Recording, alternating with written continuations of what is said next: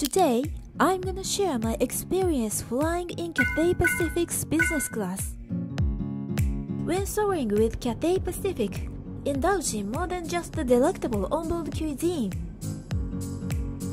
When bidding farewell to Hong Kong, the epitome of culinary excellence, make a mandatory pit stop at Noodle Bar in the Cathay Pacific Lounge. Believe it or not, it was my second rendezvous with this flight on the very day. I bid due to Bangkok in the early hours, only to land gracefully in the heart of Hong Kong.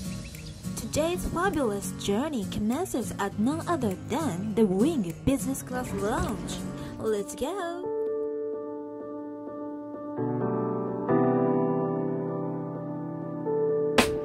Our grand entrance into Hong Kong led us straight to the Wing Business Class Lounge, the epitome of sophistication. As a non-drinker, my soul craves the comforting embrace of coffee for a well-deserved respite. And let's not forget the tantalizing tantan available at the noodle bar. This airport boasts several cafe lounges, each with its own unique charm. We've demonstrated in previous videos that the taste of tantan differ from lounge to lounge. あ、担々麺、あ、すごい。めちゃくちゃ濃厚。え、なんかね、サラサラなんだけど濃厚な。 However, at the wing, the tantan carries a pleasantly average flavor that is likely to satisfy the taste buds of nearly every discerning traveler. Darlings, it has been an eternity since my last visit to the wing, but a memory resurfaces. Brace yourselves, for the scorching heat of the sun casts its fiery embrace upon this haven. Since the wing is hot, we decide to relocate to a cooler lounge near the boarding gate. Here they have the wing, and there they have the pier. Don't be fooled by the map. This section is further than it appears. Let's hop on the train for a swift journey to our destination.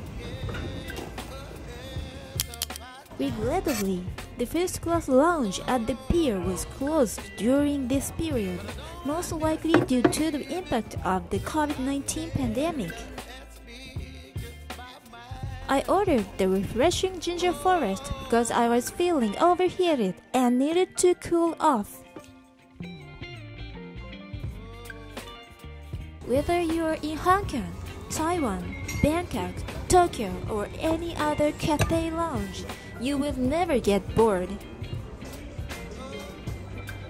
No one can compare to Qatar Airways Al Safwa First Lounge in terms of luxury. However, the biggest advantage of the Cathay Lounge is that it is available to oneworld status holders. As the moment to board arrived, my expectations held true.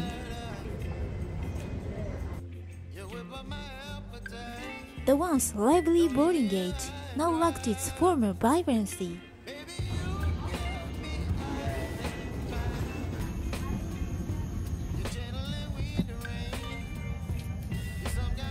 Cathay Pacific's business class seats have essentially the same shape.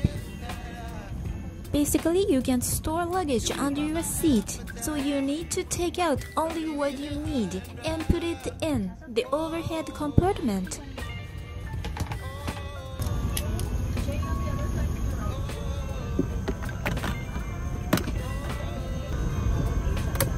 This time, I was asked for a welcome drink, so I ordered Cathay Pacific signature drink, Cathay Delight. I love it. Much to my dismay, the ottoman proved too petite to accommodate my oversized bag. However, a chic little purse will surely find its perfect abode within. function can be used throughout the flight. As you can see, the seat is designed to be very easy to use. It has small accessory compartment and mirror. It is great design for women.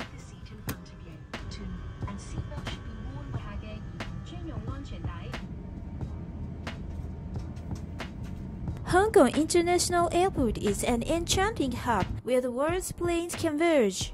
Even before your journey takes flight, revel in the thrill of watching planes from far and wide, delighting in the joy that awaits you.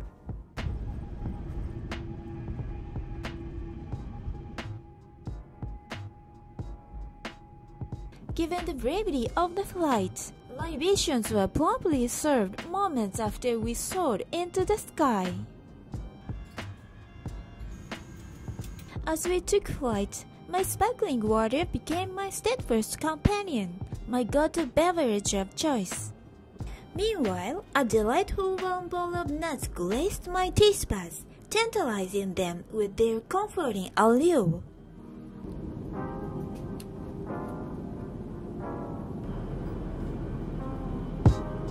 In the realm of four-hour flights, where lunchtime beckoned, the meal service unfolded with a touch more haste than its counterparts on flights from Bangkok to Hong Kong.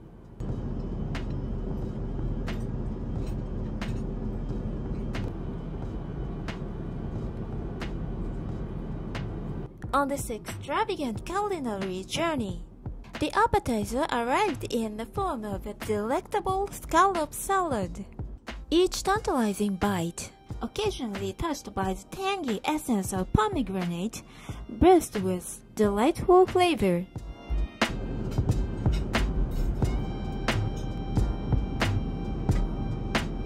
I chose Chinese for my main course.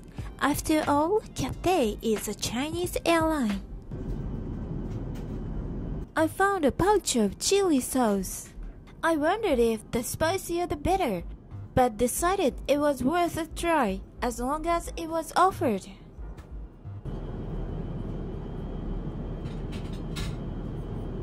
I usually only watch maps on IFE, but this time I watched Gossip Girl. In the meantime, we had already arrived over Korea. 좌석 벨트를 착용하시기 바랍니다. 테이블은 제자리에 넣어주시고 Look, this is a page to write feedback to the cabin crew. I didn't write anything because I am satisfied if they fulfill their role normally.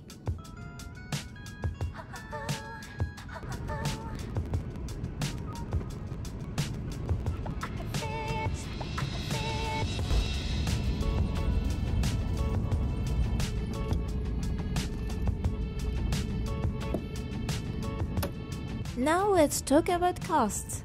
I booked a flight from Bangkok to Seoul via Hong Kong.